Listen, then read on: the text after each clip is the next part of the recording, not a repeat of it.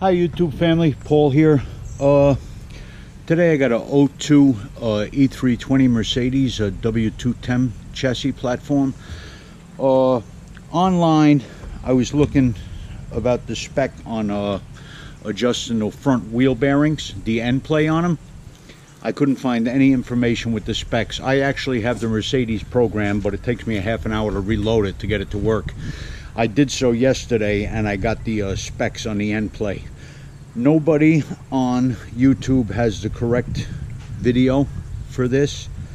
One guy does a half of a thousandth. That's too tight. The end play is not a half of a thousandth. The front wheel bearing end play is 0.01 to 0.02 millimeters. Converted to thousandths of an inch, that's 0.393 to 0.787 thousandths. So I would go three quarter, three quarters of a thousandth for the uh, proper end play on there. You're better to have a little loose than not loose enough for lubrication to take place. When you have hard contact, your bearings are going to wear out real premature. So uh, right now I pulled this wheel off and I used a screwdriver and slacked up my uh, brake caliper Hope you can see this. I'll tell you what I'm reading on the gauge. I put the uh, dial indicator right where the mounting screw is that holds the caliper on, so I won't get that much play. I zeroed it out. Pulling, I get about four thousandths of an inch on there. Four thousandths of an inch of play. I probably got a total of about five thousandths of an inch of play in there. I'm going to use a chisel now, get the uh, grease cap off, and then recheck it on the uh, spindle itself, okay? Let me just pop that off with a chisel. You can pick up one of these dial indicators for a reasonable price on eBay, uh, Amazon. They're not that expensive good tool to have around.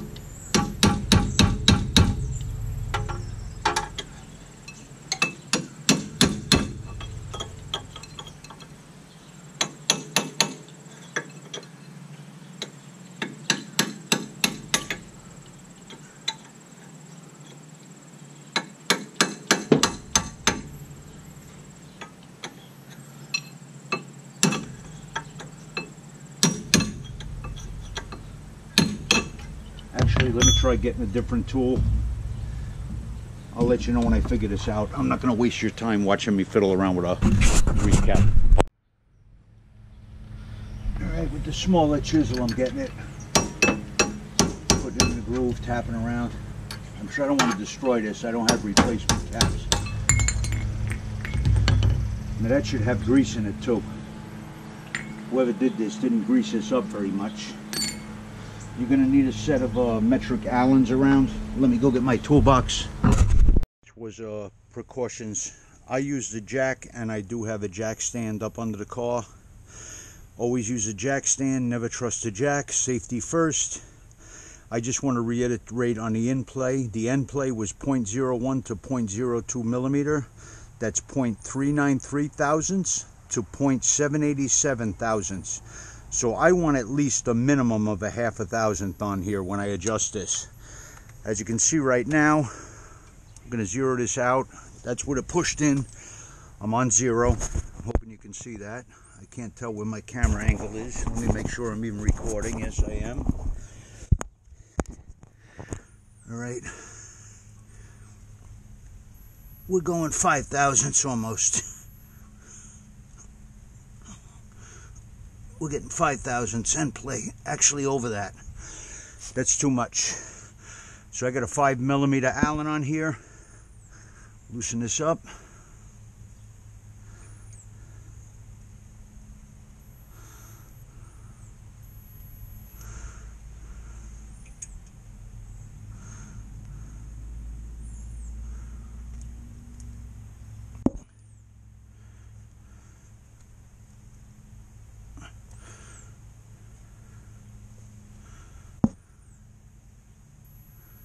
Sure this out again.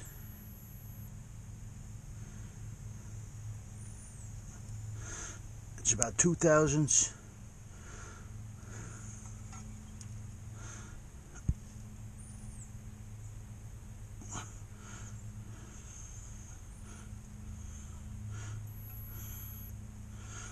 that looks good to me right there. I got a just a little bit under a thousandth of an inch. I'd rather have a little bit of play than not enough in there. I'm uh, readjusting them. Oh, yeah? I know my question, I gotta do that every now and then too, you know?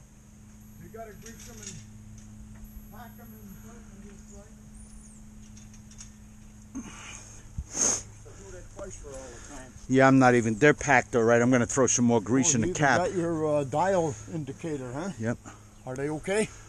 Rotors are No, all they, right? yeah, the rotors are good. Yeah. Bearings will loose as shit though. So what do you do? You check the run out on uh, The end rotor? play, yeah, the end play of the movement. This is point three nine three to point seven, point seven, Yeah, like three. brother Richie had one of them. I'm giving it a, just about a thousandth of an inch. You know, All right, go, go, you You're actually better off a little on the looser side than Yeah, too yeah, tight. Too tight, you burn them out. Yep. No good. I just do mine by fighting them with a pair of channel locks and back them off just a little so I Yeah, can get crack the, them.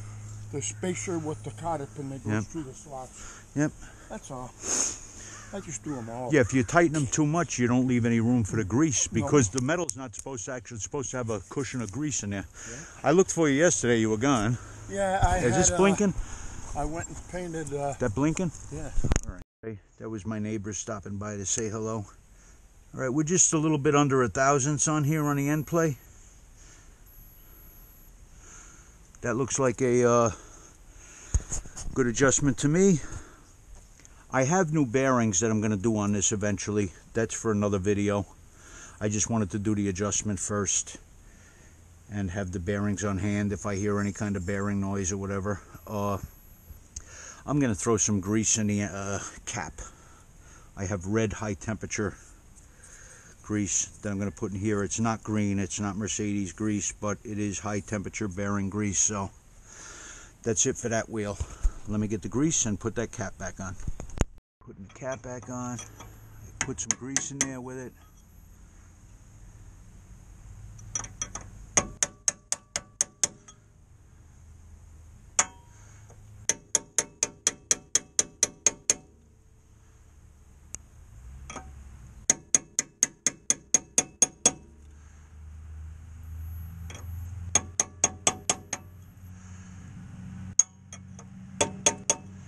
on there nice and tight. And throw this back together. I'm to torque my wheel studs down to 85 foot-pounds and then pull the other wheel. If you do work on your Mercedes, I suggest you definitely have this Benz Wheel Stud Alignment Guide tool. It goes into where the uh, wheel studs go, wheel bolts, and you can just hang the wheel with that. Makes it much easier getting the wheel on and off. And uh, they're not expensive. The part number is MBZ2015. That's MBZ2015. You can find that on eBay and uh, Amazon. All right, AliExpress may have it too. all right guys. Aluminum uh, anti-seize on the face, on the uh, mating surface of my rotor so my wheel doesn't get corroded on there. With the different metals they oxidize and sometimes bond. Just makes it a lot easier to get stuff on and off. Good idea to hit it with a little bit of never seize just don't overdo it where it's gonna get hot and go on your brake caliper or rotor. All right? Bye. Okay now I got the freight right front undone zeroed it out. We got more than five thousands playing here. That's way too much. Five millimeter.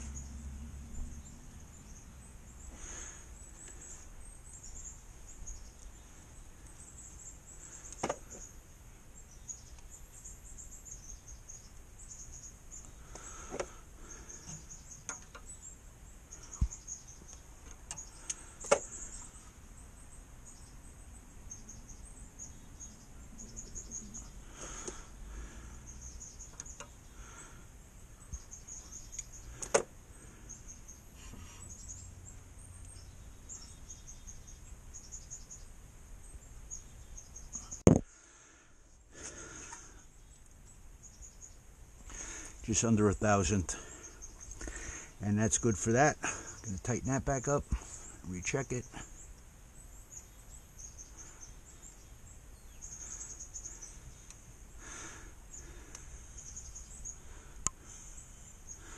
Looks good to me.